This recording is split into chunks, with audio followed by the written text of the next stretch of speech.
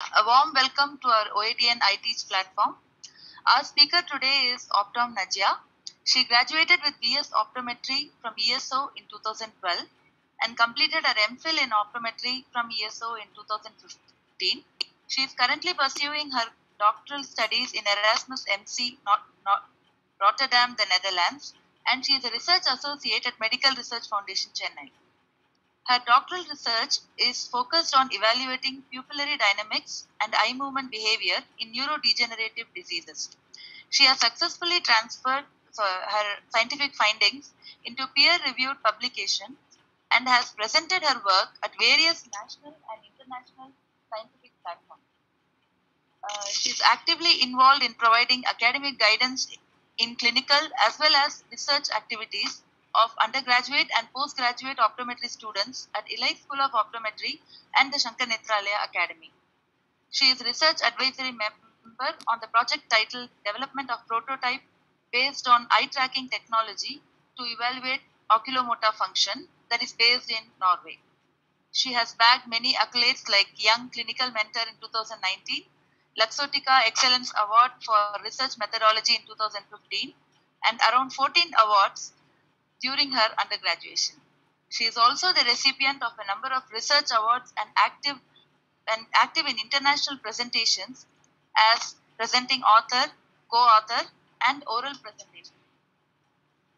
Uh, she has immensely contributed in various lectures, seminars, and workshops conducted by ESO, uh, the Sankara Nethralaya Academy, OATN, uh, Indian Optometry Association in Kerala, and Vasan Institute of Ophthalmology and Research and Optometry Association of Assam. Her topic today is automated visual field, report reading, and recent advances. I request the audience to type the questions in the chat box below and it will be answered after uh, at the end of the session. A very warm welcome to our speaker, Optom Najiya. First of all, thank you so much to Lekaman for such a sweet introduction. And uh, I'm extremely honored to be on the iTeach platform, and my heartfelt thanks to OATN for having me here today. Optometry perimetry, uh, by focusing on how to interpret a Humphrey field analyzer report and a very brief note on the advances in the field of perimetry. A small disclosure I understand this is a diverse group of audience, including not only the experienced clinical practitioners but also optometry students and budding clinicians. Hence, uh, this session is basically set at a very simple elementary level of perimetry technique and interpretation. So, of course, to at least some of you, it might be just a revision or review of uh, basics. So, moving on to the topic, uh, the best introduction to start with is, of course, the definition of visual field. When our eyes are directed straight forward and focused on a central point, the total area in which the objects can be seen in the central and peripheral vision is referred to as the visual field. So, if we look straight, stretch our hands in this way, which you are seeing on the left side, hitting 180 degrees, we will be able to appreciate an area that is around 160 degrees, majority of the area being the binocular field, and this small 20 degree that you are seeing at the edge belonging to the right and left eye monocular fields. So if we divide our visual area into four different quadrants, say temporal, nasal, superior and inferior, the extent of temporal field is the maximum that is around 100 degrees, whereas the other th three quadrants are restricted to around 50 to 60 degrees due to the nose, forehead and the cheekbone. As we all know, when light rays enter the ocular media, it is captured by the retinal layer that contains millions of light sensing nerve cells and are translated into a series of electrical signals or impulses. This visual information is then propagated along the optic nerve to the visual areas located in the posterior section of the brain.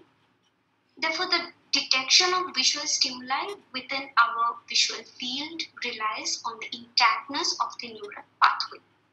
So, any structural loss or damage in any of the parts belonging to this particular pathway will show a corresponding visual defect.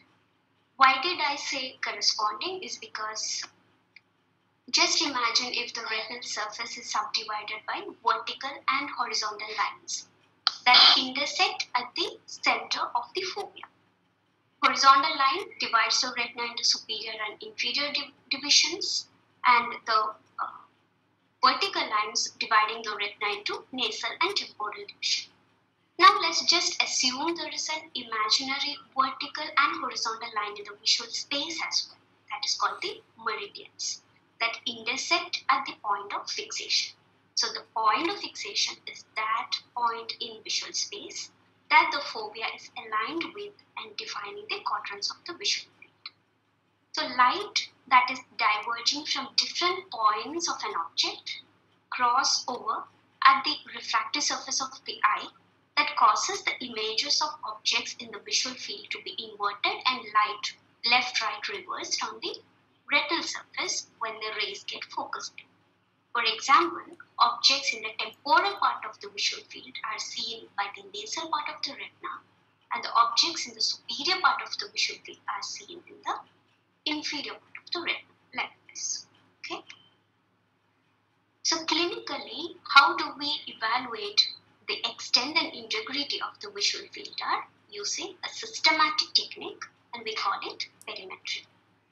These methods are used for the diagnosis of various ocular conditions and also for evaluating their progression. Based on the method of testing, the perimetry technique can be either manual or automated. While most of the perimeters require an examiner to administer the test, the manual method particularly demands a greater interaction between the examiner and the, and the patient. Why? Because it needs manual presentation of the stimulus as well as documenting the patient responses.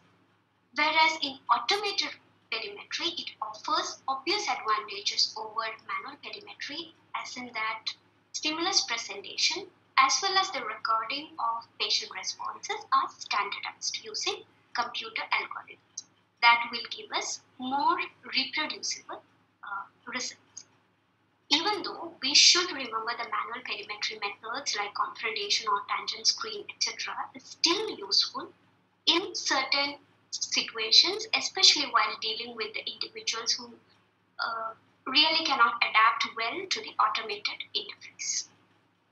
So, what we do during a visual field examination is visual targets which are stationary, that are static, or targets that are moving, that is kinetic, is used to evaluate the sensitivity of the visual system. This is basically two different strategies of stimulus projection. So, when the used target is a moving one, we call it kinetic perimetry. For example, Goldmann kinetic perimetry. And when the target is stationary, we call it static perimetry. For example, octopus, Humphrey analyzer, etc. So today, our prime focus is on the Humphrey field analyzer. I will use the abbreviation HFA. In HFA, while the patient focuses uh, at a central fixation target, the analyzer randomly projects a series of circular white light of varying brightness throughout a uniformly illuminated bulb. Whenever the patient appreciates a light in the near periphery, they indicate it by pressing a handheld button. This measures the retinal sensitivity by estimating its ability to detect a stimulus at specific points within the tested visual field. Uh, instead of making the uh, contents in a linear format, I'm taking a bit of uh, non-sequential turn. So we first begin with a report generated by HFA and then subsequently discuss what all we come across in a printout. So this is how a regular HFA report looks like. And here I would like to tell you about an acronym, WANDER, uh, just to keep in mind, probably useful while dealing with an HFA report. Uh, it is not only, uh, it, it's definitely not a universally accepted or used acronym though, but still. Uh, so we have to first see who or what that includes patient and test details. Then A for accuracy or presence of artifacts. Third, whether the report is normal or abnormal. If abnormal, then what is the defect pattern? Evaluate all the components and interpret. Confirm the interpretation by reviewing and correlating with the other clinical characteristics. For easy and systematic interpretation of the visual field printout, we divide it into eight zones. So here we go one by one. Before we begin with zones, please remember the reversal of quadrants I was mentioning at the beginning. So retinal areas and the visual field areas are reversed. Hence, in order to avoid any sort of confusion while interpreting the report, I would recommend you to first see which eyes report is that you're holding. So it will be mentioned uh, here on the top right of the report. Then spot where is the location of the blind spot. What is a blind spot? It is that area in the visual field corresponding to the optic nerve head, which is devoid of any photoreceptors, hence an absolute scotoma. Since the location of optic nerve head is on the nasal retina, in the report it is going to be on the temporal field. So please remember, if it is a right eye report, hold it on your right hand, hold it in your right hand, and if it is the left eye report, hold it in your left hand. Uh, let's begin with zone 1 that displays patient demographics and test details. That means zone 1 is telling what zone 1 is telling us is which test has been performed and on whom. Let's go into the details of zone 1. What all detail we get regarding the patient? We see name and ID. It is really, really important, especially in a busy clinical setup, to check the name and ID because there are chances that the patient walks in with the wrong report or like by mistakenly such a one gets uploaded in the EMR. Then comes the patient's age. Ensure the date of date of birth is a correct entry because the patient's sensitivities is being compared to the normal individuals of the same age. We also have a uh, have to make sure that the refractive correction given is appropriate as an uncorrected refractive error can result in abnormal fields. Similarly, check for the pupil size as well as a miotic pupil less than 2 mm uh, or so can give incorrectly constructed fields. With respect to the test details, we have to look at the test pattern and strategy of choice, the type of fixation target as well as the stimulus description. With respect to the stimulus grid pattern, conventional protocols in HFA focus on the central field that include the central fixation and the near periphery. Okay. Uh, that may include 30-2, 24-2, 10-2 and macular threshold with different number of test locations and difference in degree of spacing between each as shown here in the table. in these, the first number represents the area of testing in degrees. If I take an example of 30-2, it evaluates 30 degrees on either side of the fixation. To understand what is the second number, that is uh, 2, uh, what it denotes, we have to quickly recollect the anatomical aspects of retina. Here on the right side, you see the papillomacular bundle, which constitutes of the retinal ganglion, ganglion cells, the RGCs, that carry the information from the macula, that is the central retina, to the optic nerve. Okay, and here you see the horizontal raphe, the demarcation line extending from the macula, dividing the temporal retinal nerve fiber layer into a superior and inferior half. So in these test protocols, which I mentioned 30-2, 24-2, etc., the central horizontal points are distributed at equal distances from the horizontal raphet on side of its, uh, on either of its sides, that is above and below. So the digit 2 denotes the points are on either side of the horizontal line. So now you know what is the first number and what the second number denotes. What about the test strategies? The test strategies include full threshold, FastPac, and SITA. Under the SITA strategy, it can be standard, fast, faster, or SWAP. After the introduction of SITA, the older strategies are seldom used because of their long test durations. Zone 1 also give us, uh, gives us the detail about the type of fixation target chosen that can be central target, small or large diamond, as well as the information of about the size of peripheral stimuli, whether it is a size 3, 5, uh, chosen based on the uh, based on the patient's visual status. Okay, so we have completed zone 1. Now moving on to zone 2. Zone 2 basically provides uh, us the reliability indices such as fixation loss, false negative and false positives. Why do we need reliability indices? Because HFA is actually relying on the patient's response. That is a subjective response. Hence, we need to have some kind of cross checks to ensure whether we can really trust the responses or not. Or we are going to end up with false interpretations if we really is not focusing on the reliability indices. So the first one is fixation loss, which means it is a check for knowing whether the patient was accurately fixating at the central target or not. In HFA, this score is estimated by using Heijl-Krakau blind spot monitoring method by presenting stimuli at the patient's blind spot. Please remember that the blind spot is that area in the visual field corresponding to the optic nerve head with no photoreceptors, hence an absolute scotoma. So any positive response from the patient to such stimuli is an indication of unstable central vision, central fixation.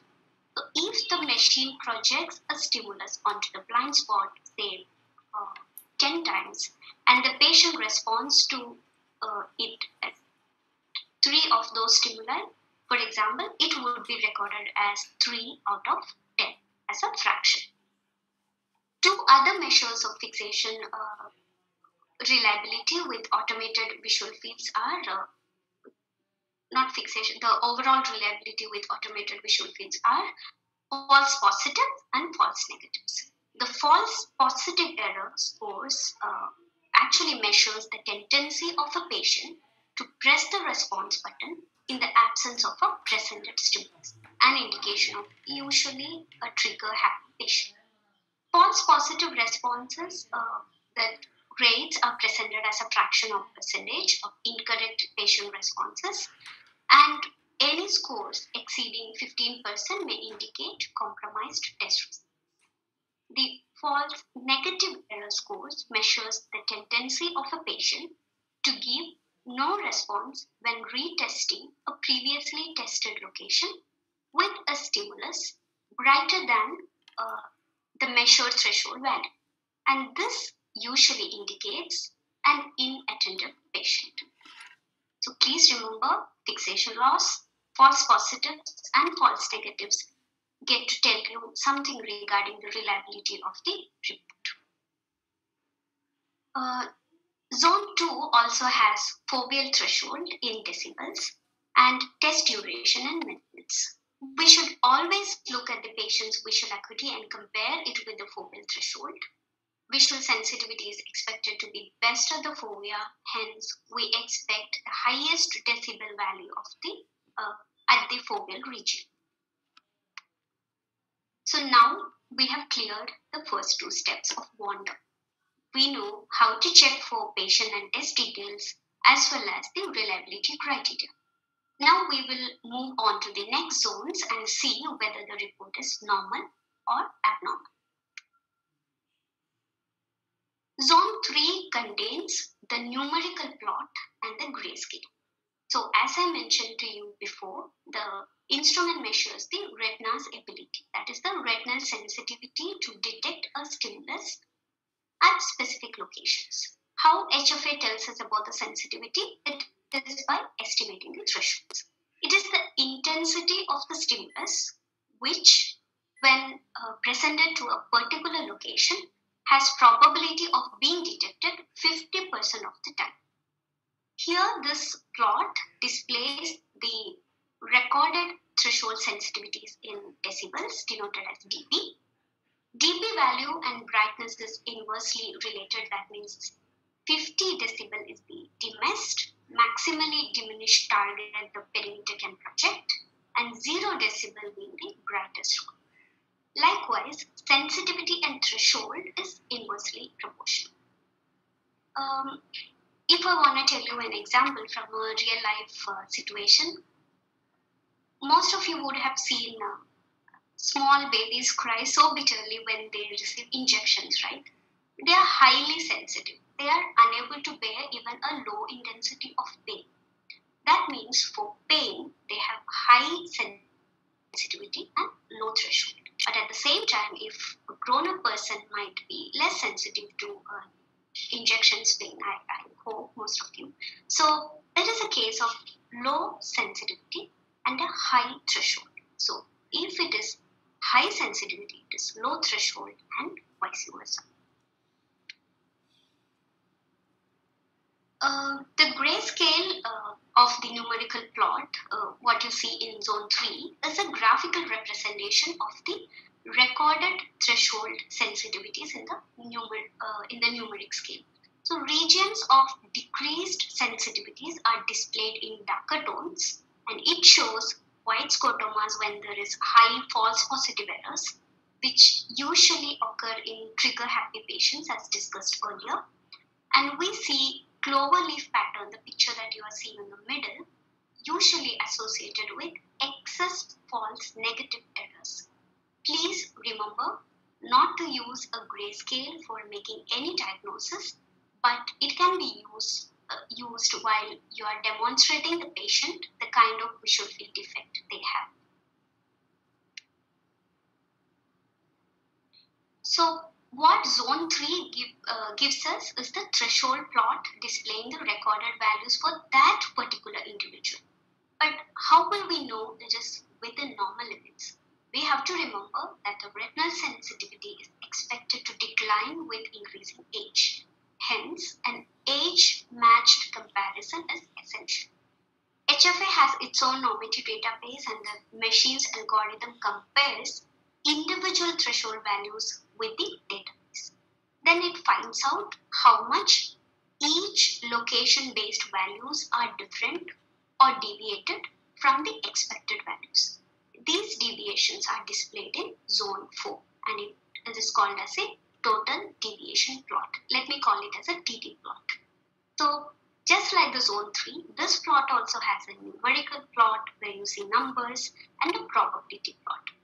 So the first one that you are seeing on your left side is the numerical total deviation plot where the negative values indicate sensitivities that are below the age corrected sensitivity and positive values indicate higher than normal sensitivity.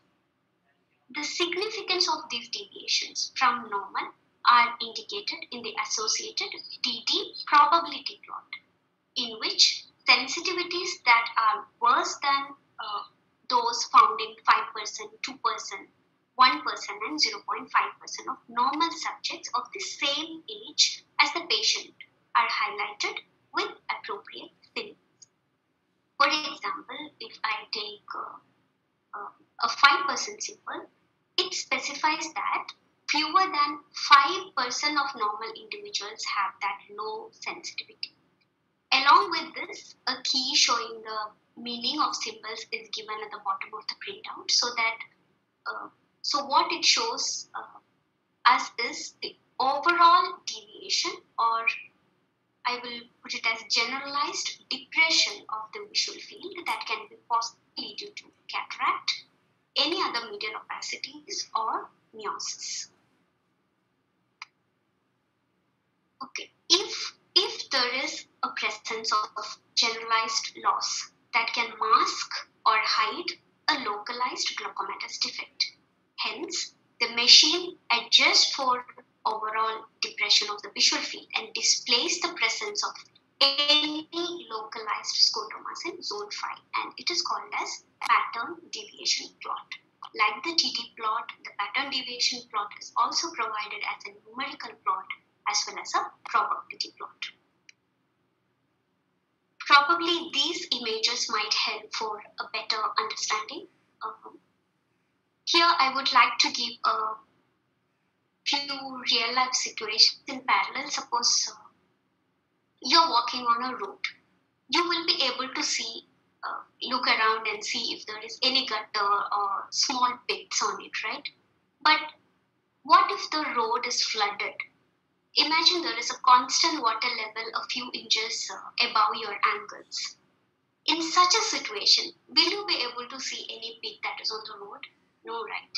Because it is masked or hidden by the overall level of water. Same thing happens when someone has a generalized reduction of sensitivity along with a localized scotoma. The overall depression has to be removed to spot that localized scotoma. That is what is done in a pattern deviation plot. It adjusts for the overall depression in sensitivity and helps us to identify the location and the depth of the localized defect. Then comes the zone 6, displaying the global indices such as mean deviation, the MD, the pattern standard deviation, the PSD, and the visual field index, the VFI. The MD is average of all the numbers in the total deviation plot. MD can range from plus 2 to say minus 30 decibels, but it usually has a negative sign.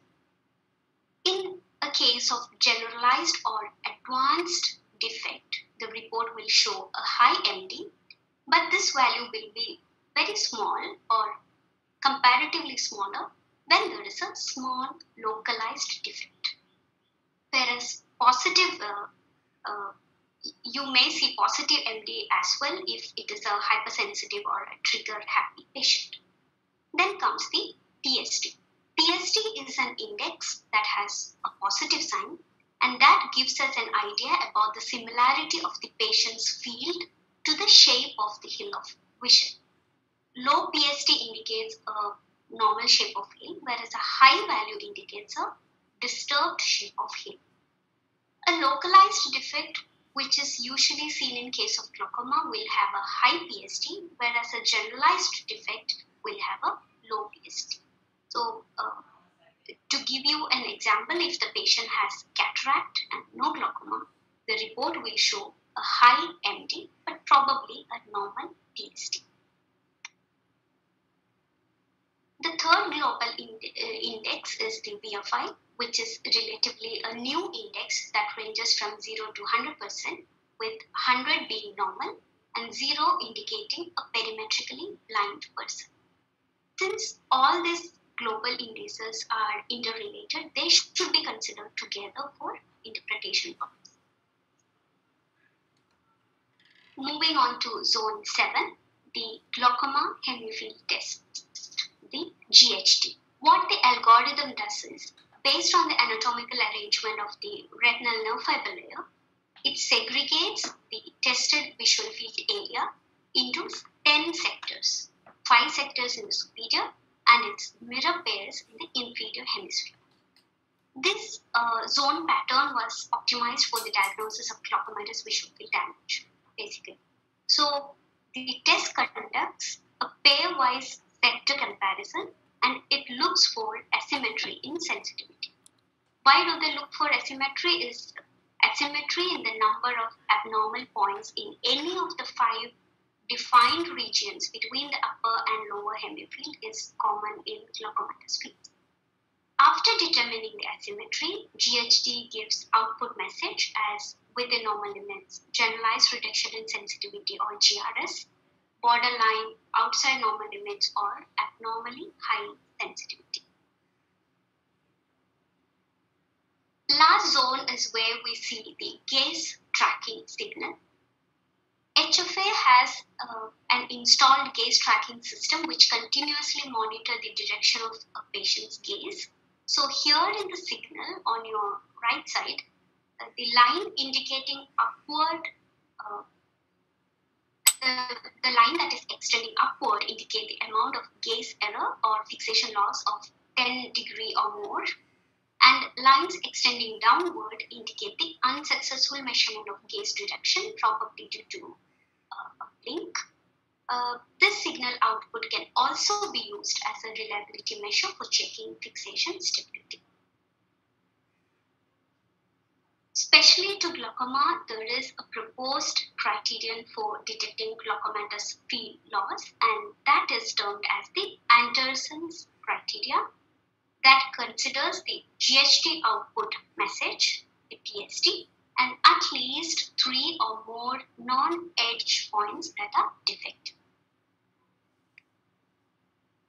Now we know whenever we receive a report, we have to look for patient demographics, test specifications, see whether the report is reliable, reliable by considering the reliability indices fixation loss, false positive, false negative, as well as the gaze tracking signal.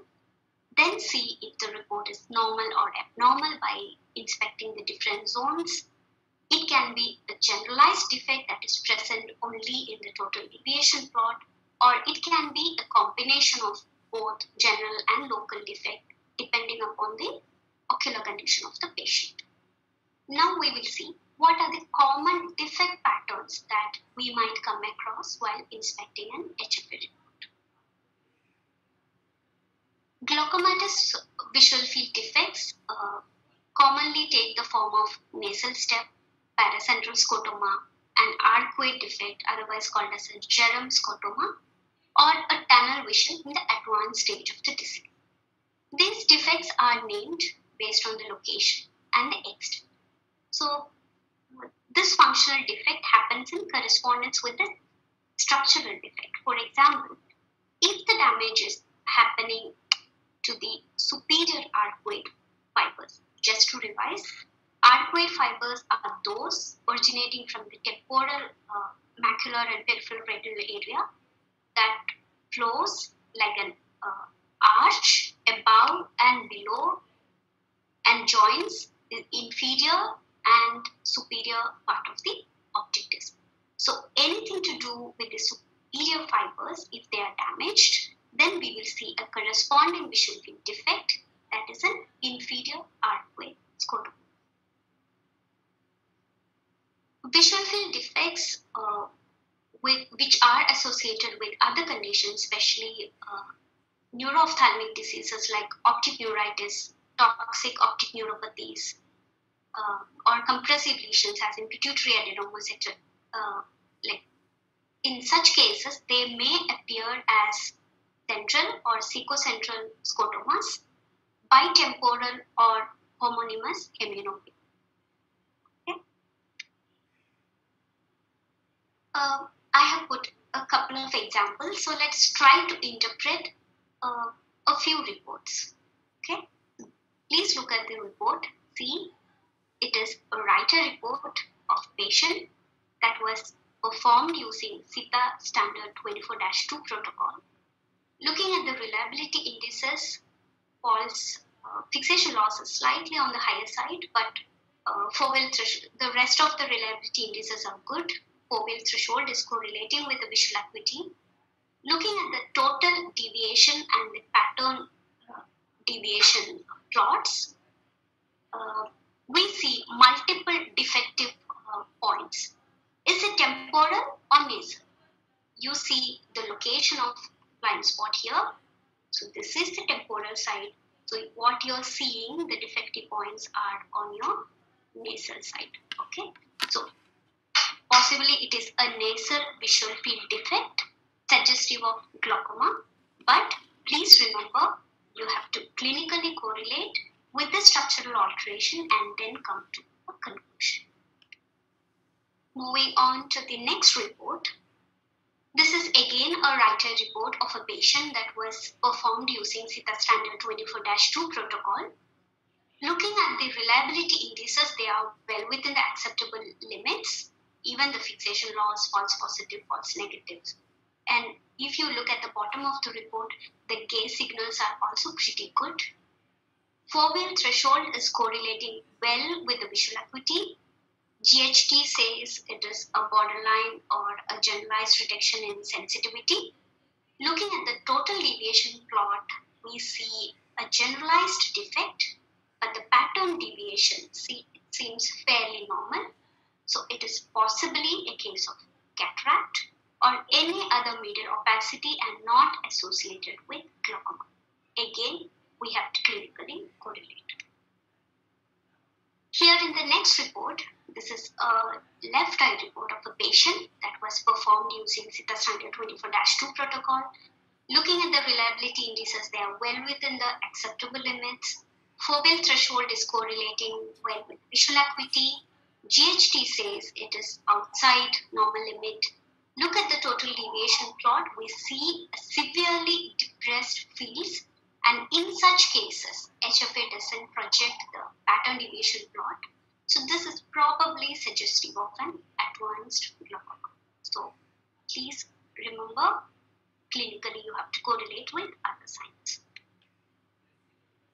Here is the next report. Here we have a left eyes report on the left side and right eye reports on the right side.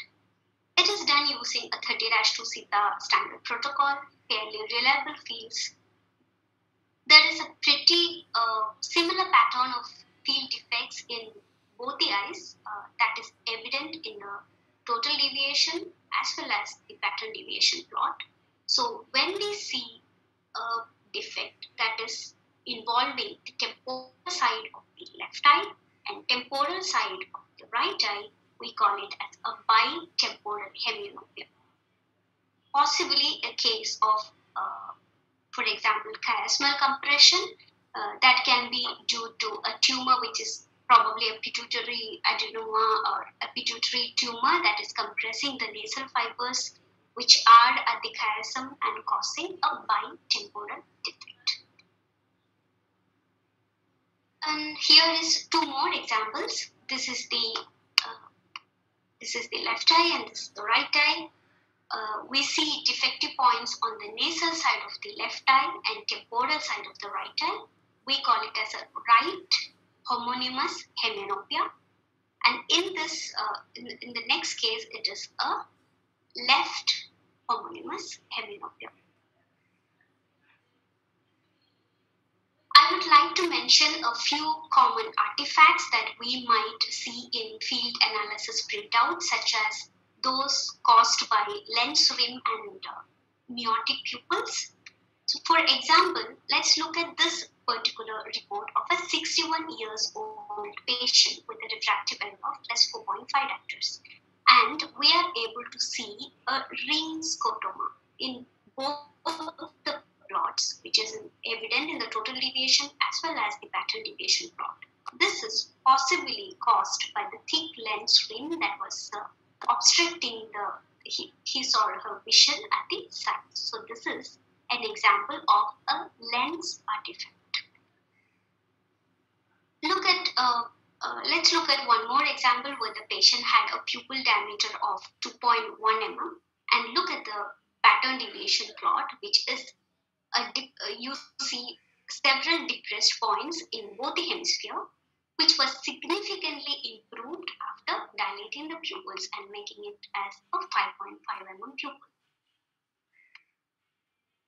Um, HFA not only gives a single field analysis report but also has various programs for estimating and predicting progression of glaucoma.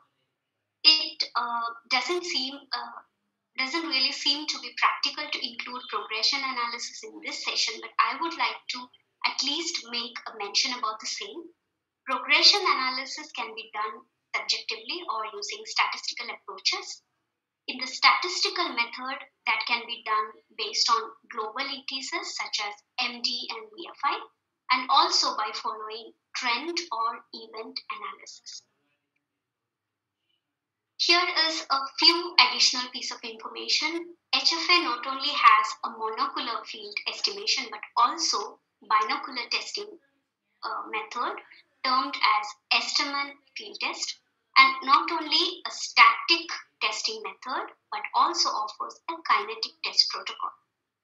As a latest advancement, the recent version of HFA has a liquid trial lens instead of a full field lens, the full aperture lens, and it has capability of autofocusing and correcting the refractive error up to 8 diopters. And along the SITA standard and SITA fast, at present HFA version has one more add-on called the SITA faster, which as its name suggests, it is faster in test duration than SITA fast. Um, if you would like to explore about Esterman field test, I would recommend to go through this article. You can please note down the same. Um, I know I have, uh, though I have talked about uh, many aspects in relation to HFA, uh, please note that perimetry itself is an extensive topic. And if you are a beginner, please take uh, a look at these two articles as my personal recommendation for reading and making a better understanding. Um, though this session had a prime focus on HFA as it is one of the widely used perimetry technique, I would like to mention about some of the selected alternate approaches in the field of automated perimetry. These are either out there in the market for commercial use, while some of them are lab based prototypes that are under development and validation process. First one is the frequency doubling perimetry, abbreviated as FDP, which is largely recommended for screening purposes with its test grid containing 17 test locations and uses a scoring system called Robin score for estimating the integrity of the visual field. The manufacturers has recently launched the uh, high-end version of FDP, that is a revised version of the conventional FDP, and it is called as Humphrey Humphrey Matrix Field Analyzer. Next, coming to eye movement perimetry, EMP, which relies on saccadic eye movements to evaluate the functional integrity of the visual system. Unlike my previous reading recommendations and references, these references in particular bring me pride and happiness as this particular prototype and publications are from the research team to which I belong to. So, what basically EMP does is it evaluates reflexive eye movements initiated towards randomly projected peripheral stimuli and quantifies the saccadic reaction time, the SRT that uses a re- it is recorded using a remote infrared eye tracking camera based on which the responsiveness of the visual field is estimated. We have already published uh, regarding the delay in reaction times observed in glaucoma patients and using SRT as an index for detecting functional loss associated with glaucoma. We have also observed delayed reaction times in neuro-ophthalmic patients, and we are currently involved in evaluating the potential of EMP in binocular visual field estimation. Um, this is another recently reported perimetry prototype exclusively designed for visual field estimation in pedi- pediatric uh, patients, uh, specifically infants. Probably those of you who have already listened to Dr. Premnandini ma'am would have got a clear picture on this innovative approach. Uh, the, the, research team have been uh, able to use this device to quantitatively estimate the visual fields for infants and also on patients for whom testing was not possible with conventional perimeters. Recently, various uh, manufacturers have come up with VR-based perimetry uh, devices which features portable and convenient method of perimetric technique, especially for screening purposes.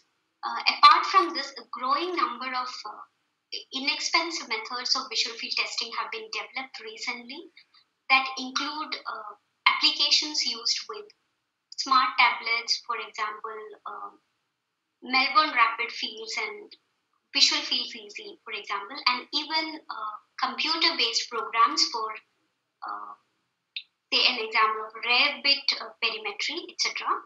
Uh, these innovations actually are from the increased overall demand for eye care services by an aging population.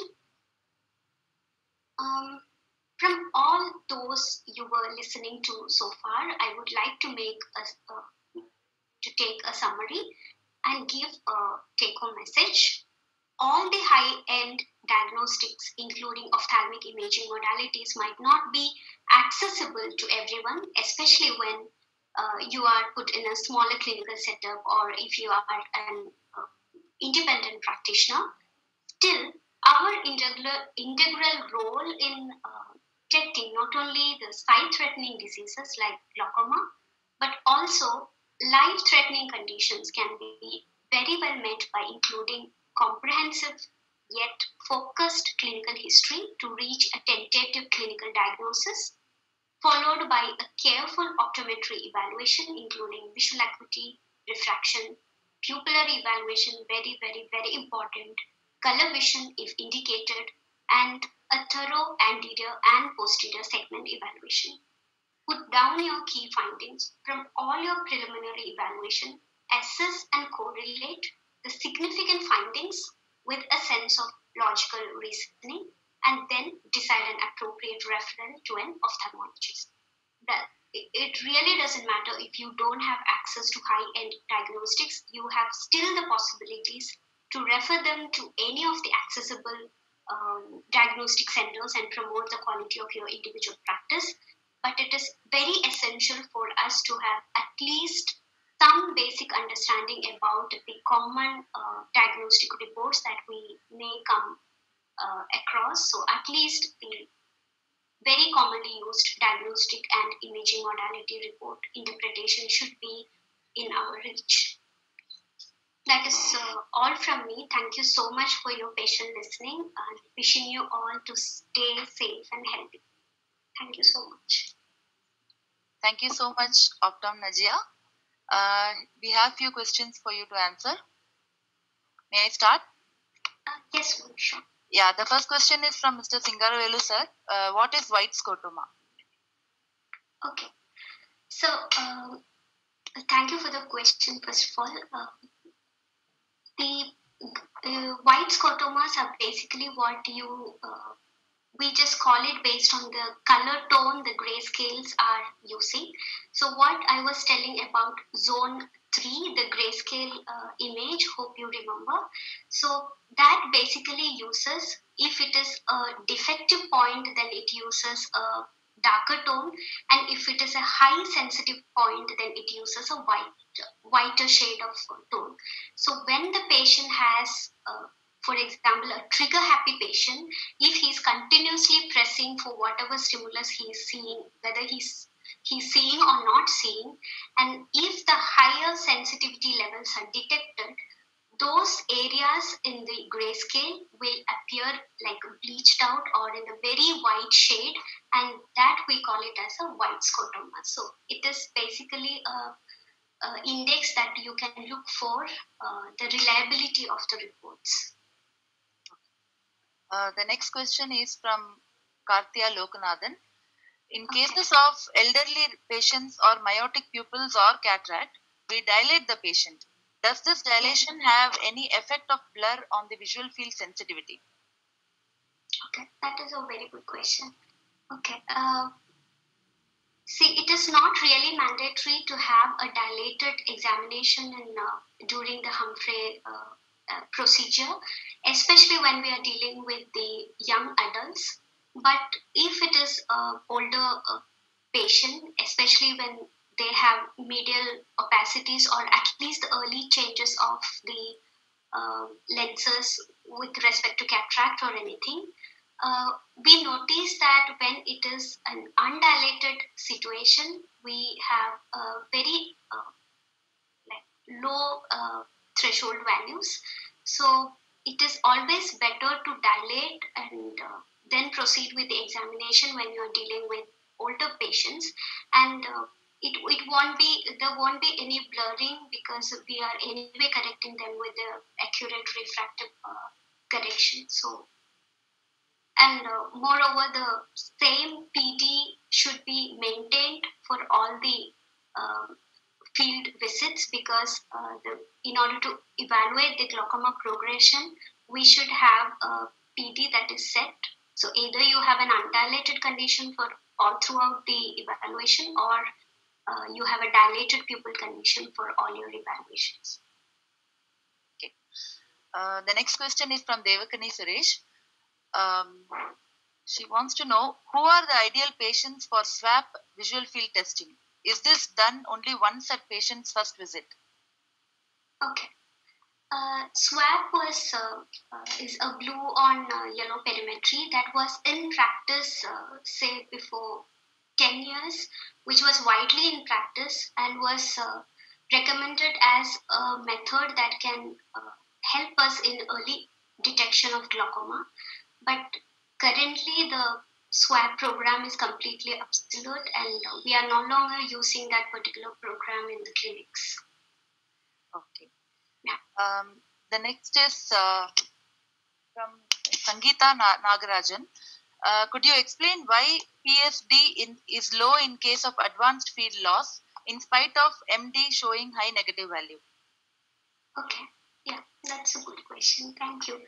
Um, see, basically, what MD and PSD is, they are calculated from the total deviation plot. So, I will give you two or three uh, scenarios. Just imagine if the patient has a normal visual field so in the total deviation plot, you're going to see uh, the deviation values that are pretty close to zero, say minus one, zero, plus one, or at the maximum minus two or something. So if you average it, you get an MD value that is very even the PSD value, which tells us the irregularities in the visual field. So how close these deviation values are to each other. So in a normal patient, both MD and PSD is going to be very close to zero.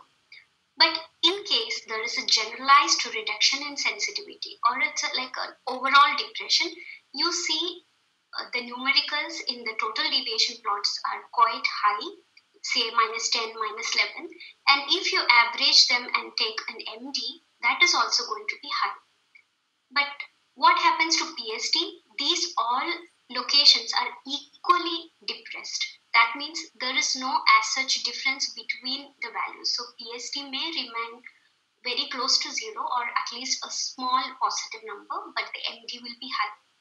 But in case of uh, local defect, you see a cluster of points in one particular quadrant or something that are very highly deviated from the rest of the fields that means the MD, which is the average of all the 52 locations, are not going to change much, at least not in a significant way. But the PSD, which tells you uh, how much these locations are away from the rest of the location, so that irregularity uh, shows you a high PSD. So MD is more towards the generalized depression, but the PSD is more towards the localized defect in the visual field.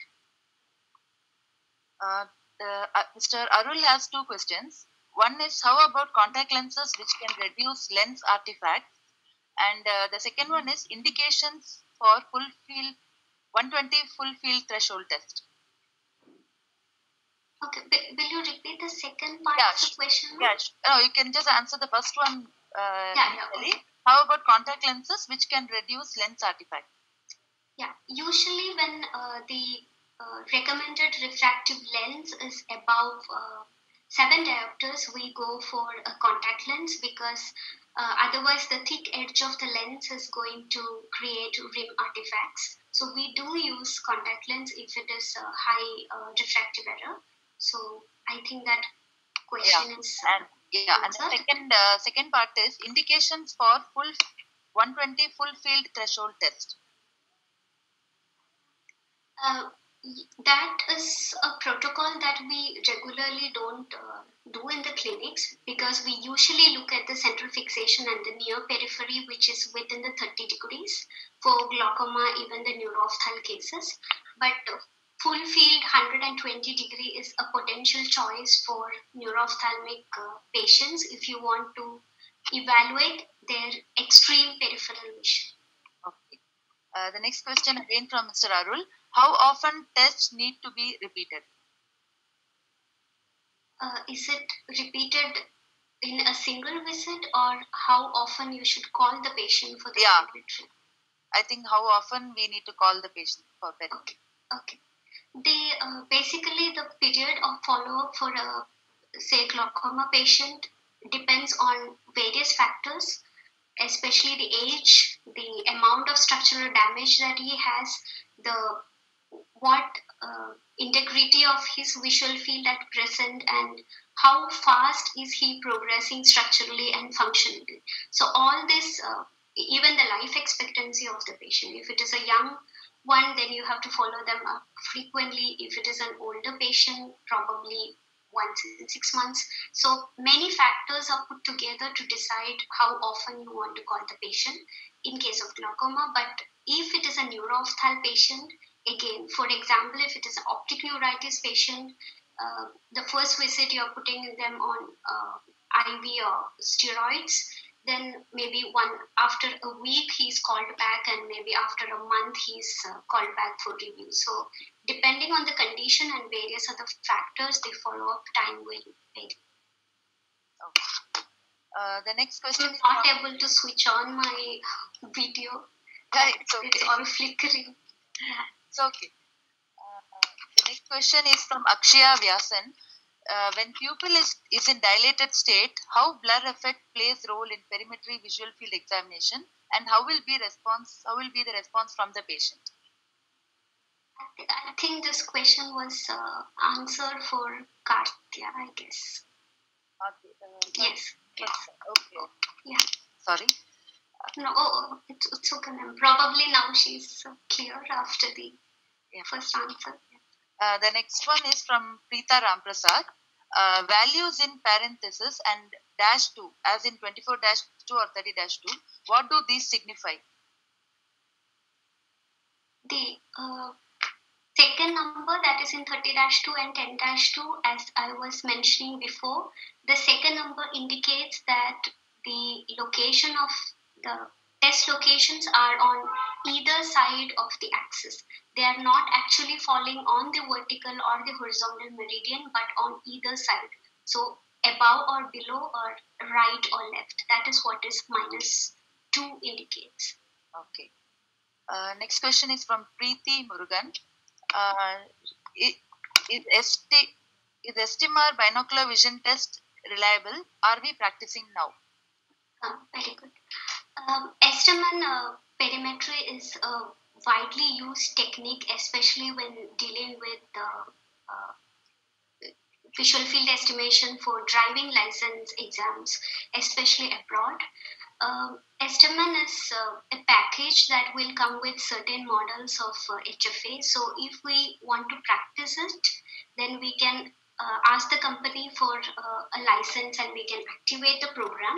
So it is basically uh, uh, 120 test point locations where we get yes or no responses. It is not a thresholding program but a binary response method.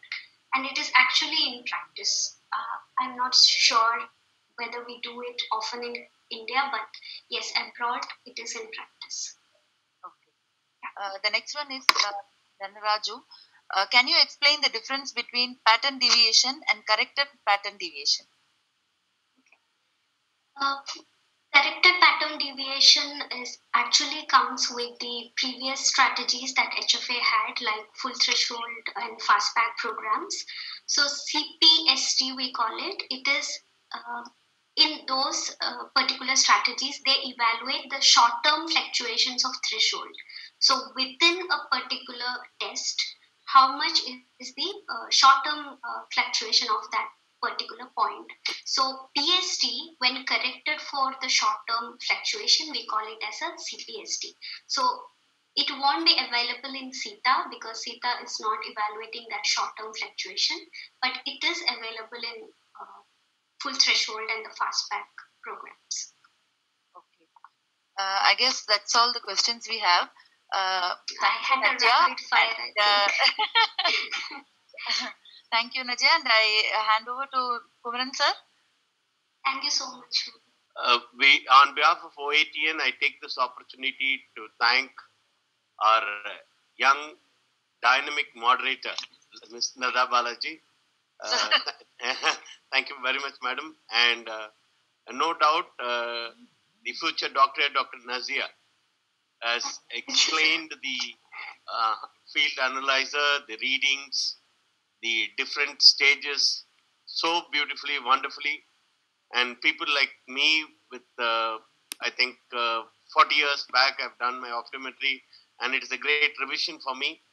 And as i'm like to uh, thank uh, ms Najiya i just want to ask a small question and then we'll close it.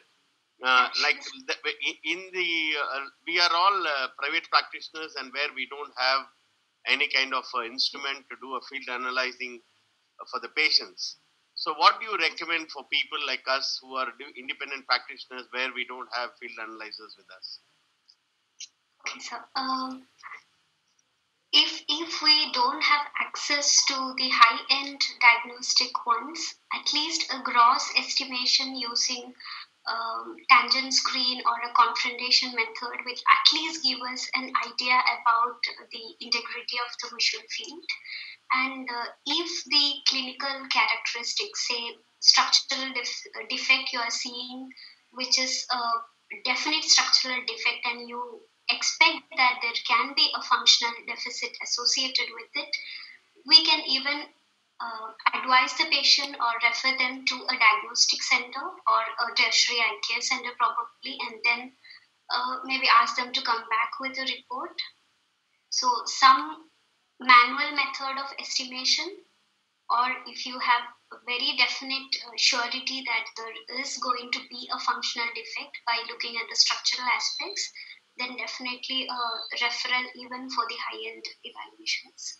Thanks a lot. I think that is a great suggestion for the independent uh, private practitioners Yes. where you cannot, you can do the confrontation method and uh, have uh, connect with the diagnostic centers and also the tertiary hospital where we can refer the patients. Yes. Thank you very much, uh, Ms. Najiya. You have you have given us, enlightened us with the uh, lot of information, input related HVF, and uh, I'm sure uh, all our members uh, and the people who have attended the sessions on YouTube or probably who are going to view after this session. Normally, we get to see about close to 700 to 800 people view our YouTube, and uh, they are all going to get benefited, and it is going to be available throughout in our uh, YouTube channel. Thanks a lot, and uh, Thank you I- so much, sir. thank you very much, ma'am. Yeah. Thank you very Thank much.